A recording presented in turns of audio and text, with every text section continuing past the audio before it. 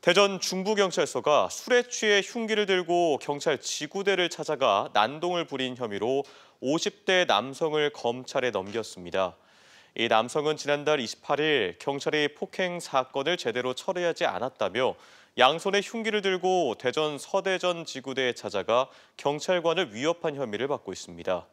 사건 당시 지구대에서 근무하던 무술도합 14단인 박 견규 경장이 난동을 부리던 피의자를 제압해 다행히 인명피해는 없었습니다.